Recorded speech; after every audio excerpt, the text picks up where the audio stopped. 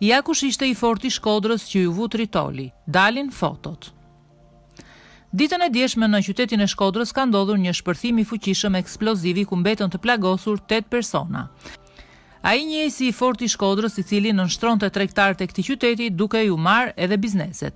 Ndërsa dyshohet se ka marrë pjesë dhe në torturimin për vdekje të një personi në këtë qytet. Por për ngjarjen nuk është dënuar askush. Në qershor të vitit të kaluar, Kulla është arrestuar nga policia për kultivim kanabisi në zonën e Dukagjinit në Shkodër.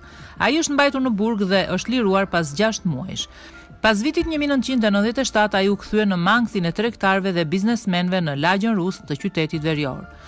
Në bashkëpunim me grupe të tjera kriminale, do vinte nën diktat bizneset e Shkodrës, duke bërë që një pjesë e tyre të largoheshin nga qyteti. Për shumë vite ai mbajti nën kontroll lagjen e famshme të Shkodrës duke kontrolluar aktivitetin tregtar. Në objektin ku u vendos tritoli, Kulla ka në pronësi një lokal dhe disa ambiente të dhëna me qera. Në katin e dytë të ndërtesës ndodhen zyrat e Shoqatës së Minoritetit Serbo-Malazez të Shkodrës. Ngjarja ka ndodhur në një nga lagjet më të populluara të kryeqendrës së veriut. Nga shpërthimi i fuqishëm janë dëmtuar dhe disa automjete të parkuara pranë biznesit. Një prej automjeteve të dëmtuara nga shpërthimi është një foristradë, e cila dyshohet se i përket pikërisht Kullës. Policia po vijon hetimet për zbardhjen e ngjarjes dhe identifikimin e autorëve. Blutë kanë sekuestruar pamjet filmike të bizneseve aty pranë, pasi kanë qenë të pajisura me kamera sigurie dhe dyshohet të kenë filmuar momentin e vendosjes së lëndës eksplozive në dyqan.